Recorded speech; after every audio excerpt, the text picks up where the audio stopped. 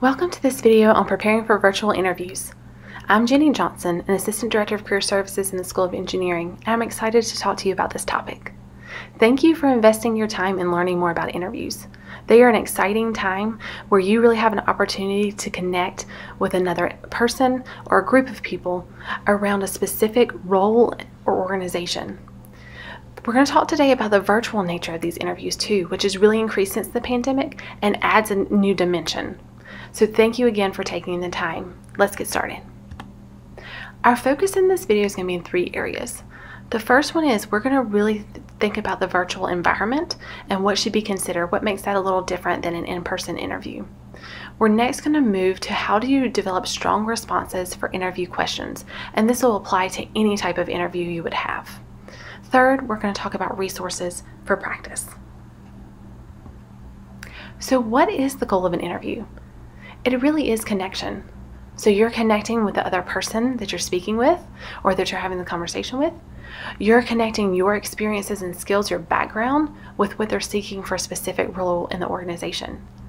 And you're connecting your stories, your answers, with what they are asking about what they're seeking. All of these together help them understand here's this person's ability to thrive and contribute to the organization. So there's lots of types of interviews. Today, we're really going to focus on behavioral interviews and also behavioral interviews in terms of a virtual interview where there's a live person having a conversation with you. So in those type of interviews, behavioral interviews, they will ask questions that will your answers will let them know here is this person's past and present behavior that indicate to us how they'll be able to thrive in our organization and how they'll be able to contribute to it. Now, a good number of what we're talking about today can also be applied to phone interviews, to pre-recorded video interviews, but for this these purposes, we're really going to focus on an interview where you'd have somebody actually conversating with you. So before we get started, I want you to know about two resources that are available to all Duke students and all Duke alumni. The first is Big Interview. This is behind a login, um, but this does exactly like it says on the screen, gives you opportunities to learn and practice your interview skills. In terms of learn, there are very comprehensive curriculums within Big Interview where you can learn more about different aspects of interviewing than we can go into today. On the practice side, you can actually record yourself practicing questions that are that are presented to you, and then you can watch the playback, or you can send it to someone else for feedback. That second resource there, Interviewing Strategies, this is a course created by the Duke Career Center that is publicly available on the website. It's a great opportunity for you to key on, in on specific areas of interest for you and get really uh, practical, digestible res um, resources and suggestions to incorporate into your interview preparation. So we're going to first start with the virtual nature of these interviews. Now, when you were offered an interview by email or by phone, maybe some of you were offered the interview by text, you have a contact there that you can ask some questions about the interview before before you start preparation and we'd advise you to do that that allows you to know what type of interview you will have what type of technology we'll use if you need accommodations of any kind it pro provides you the information you need so you can ask for the correct accommodations so we're going to focus now on the technology, the environment, and the communication. So let's get started with technology. So you will hopefully know ahead of time what platform is going to be used for your virtual interview. And you want to test that platform well in advance. What are the features? What capabilities does it have? How might you have to use different features within your interview? What settings does it have? All of these things will allow you to feel more at ease that day as you navigate the technology while you're interviewing. What is your internet connection and signal like? If you know yours is not of good quality, where you can you go that is a safe place to do this interview, um, this virtual interview that does have a high quality connection? Sound. How do you plan to hear uh, um, hear the interviewer? Do you plan to use headphones, earbuds? Have you tested the sound? You want to test all of that and see if there are any um, problems with the sound prior to the interview starting. And finally, have a plan if a failure occurs. Technology fails sometimes, and in that case, you want to have contact information for the person you're interviewing with so that you could reach them by email or you could reach them by phone if you needed to. Next, let's think about the environment. There's a great YouTube video included in the interviewing strategies course that the Duke Career Center created. It goes through these four areas in more detail and it also does it where you can see different instances of what the person is talking about. I highly recommend it if you have a chance. But let's look at these four. Visual space. So, what is the interviewer going to see when they're interviewing you? What's behind you? You want it to be a simplified area, um, meaning you don't want it to be messy. You don't want it to distract from you and what you are saying. It's okay to have things behind you. Just make sure they're not distracting to the conversation. Second, lighting. How well will the interviewer be able to see you? Will there be a glare? Will you have sunlight in your face? Try to do some tests um, of the lighting at the same time of the day that you would have the interview prior to the interview so you can test out the lighting. Sound. What type of sound is in your environment? Does your neighbor's dog bark a lot? Do you have other external sound factors in play? If so, are they sound factors you can control or do you need to find another location? Finally, attire. You want to wear the same attire that you would be wearing if you were in person, and you want to wear that attire from head to toe. You know, there are there are examples already of um, people who did interviews and decided to wear yoga pants and then had to get up and move unexpectedly. So you want to wear from head to toe um, the attire you would wear for that interview if you were having it in person. And finally, when thinking about the virtual environment, we want to talk about communication for a moment. So, nonverbal communication. Eye contact is still important in these virtual interviews, and it can be a little difficult so one thing you want to think about is how do I position my computer so that I can be eye level with the camera, or at least the top of my screen. Use a book, put it underneath your um, underneath your computer, and again, test this out in advance so you see how you can position your computer so that you are feeling this frame pretty well. Now, when you're giving answers, you want to try as much as you can to look at your computer camera that'll help them see that you are looking you are looking them um, in the eye as much as possible. Second posture. You want to be sitting straight. Sometimes if you lean forward slightly that shows that you're even a little more engaged. But you again test ahead of time. See what it looks like when you sit in different postures so that you can make sure they know you're engaged in the conversation and very interested. Third expressions. Be yourself Use the same expressions you would use if you were in person. If you use your hands when you talk, use your hands. Though you don't want to use them a ton, you can use them some. You know, you can smile, you can be animated at different times. Be yourself in that way and make sure you show those expressions. Now, in verbal communication, there are a lot of components of these interviews that are similar to if you were in person. But sometimes with since you're not in person, it can be a little more difficult to hear. We talked about sound previously. So we know if there's a little bit of sound, um, maybe there's a delay, or maybe there's a little bit of background noise. It's really helpful if in verbal communication you will enunciate. Say your words a little more crisply. This may make you have to slow down just a little bit, but that's okay. You may also want to think about giving just a slight pause before you start giving an answer to make sure that the interviewer has fully finished their answer before you start responding. So we just talked about technology, we talked about the environment, and we talked about communication when really thinking about the virtual environment of these virtual interviews. Next, we're going to go to strategies for preparing strong responses. Again, these strategies can be used for any type of interview, not just virtual ones.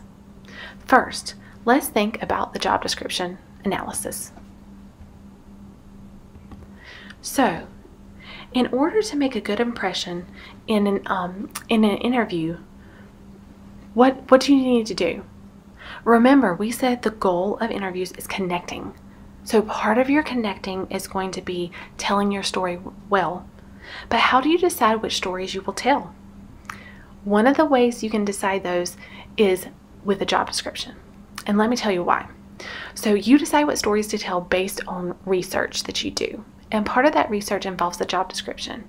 Now, if you're watching this video and you have an internship interview or you're interviewing for a fellowship or a, or a project, the job description can be interchangeable with whatever description you have. But the job description helps you identify what is important to our organization and role. It helps you identify what you need to strategically connect your past and present skills and experience to so that you can customize your answers when you're responding to their questions. So, how do you decide what is important based on a job description? Again, you're not going to only use the job description, you're going to use other things too, but the job description is a nice key to the to the question. So if I'm trying to determine what's important to, in this case, ICF International for the Associate Business Analyst role, I'm going to look for themes.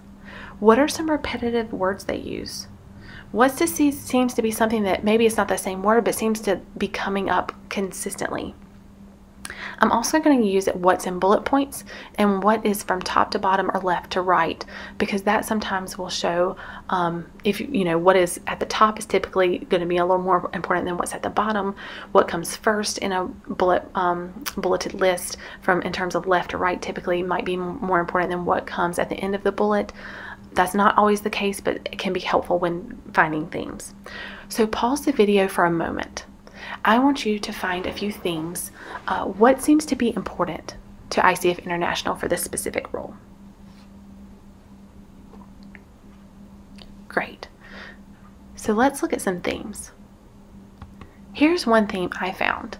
So if you're seeking to make a difference in the world, there were a number of things that, about ICF International when they described what ICF is about and also about the role that led to me to think about meaningful work.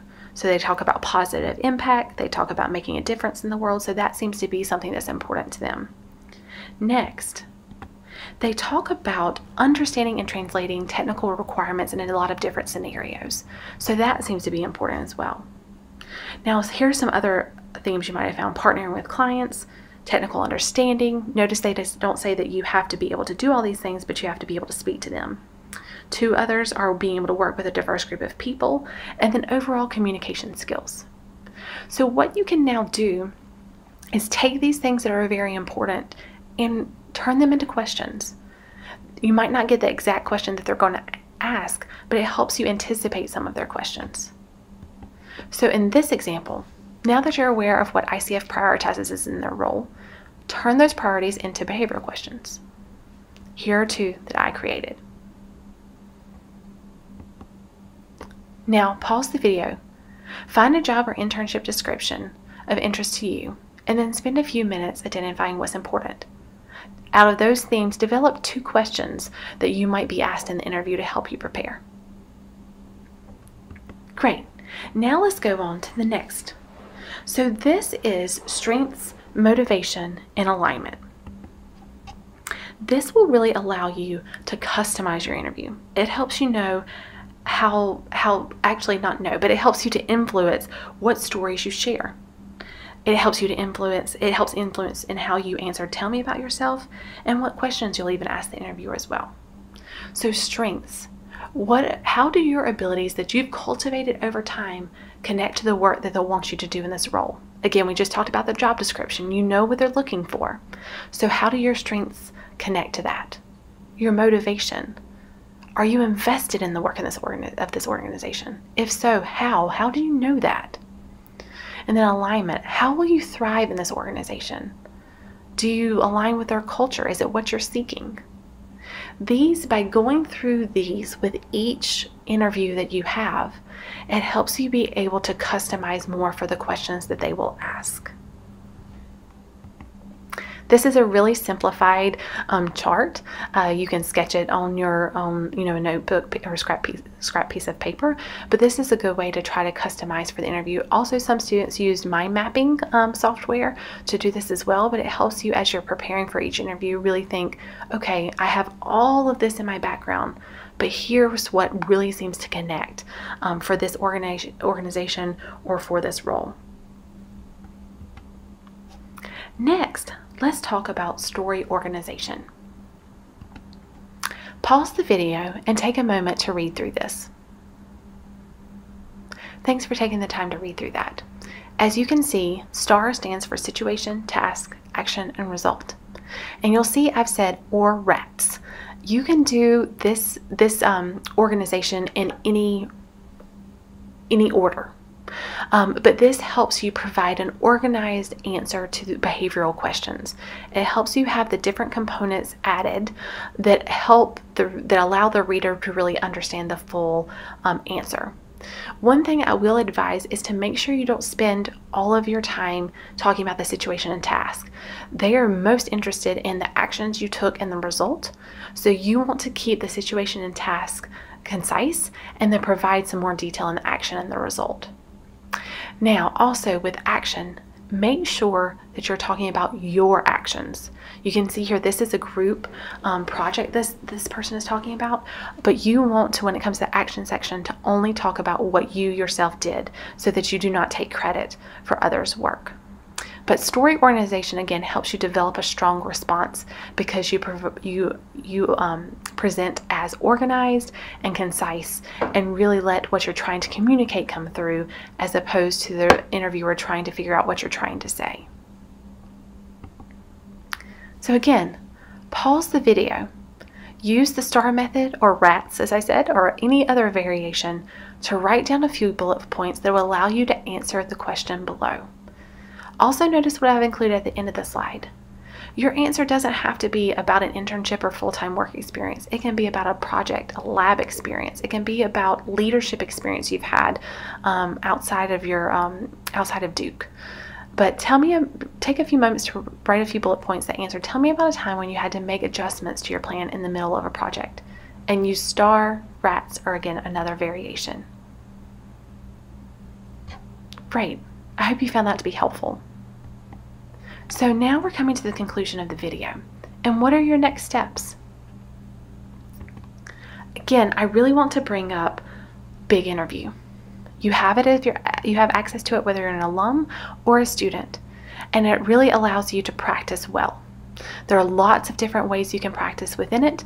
You can pick the questions you'll receive. You can pick the type of interviewer you will have. You can choose to do what is called interview roulette, and where it picks the questions you can be surprised by what questions you would receive. You can record yourself and play it back, and you can also share that recording with others that you might want to review it. But you can see there, if you choose the practice tab, you can see the variety of ways you can practice. Also, make sure you understand the resources you have based on your designation right now. If you're a student, what resources do you have based on the school you're part of and the program you're part of? If you're an alum, what res additional resources might you have through coaches through the Alumni Association or people within your, your network? Practice is very important, so find some ways that you actually get to practice responding to questions either in a recorded format or with a live person. I also want to bring up this course one more time. Again, it is a great overview for a lot of different parts of the interviewing process and will provide you with even more information than we were able to go into today. I highly recommend it. Again, Thank you for joining me today and for spending a little time learning about virtual preparing for virtual interviews. You can reach us at the Career Center website there, or you can always connect with us on social media as well. Best wishes to you in your interviewing both now and the future.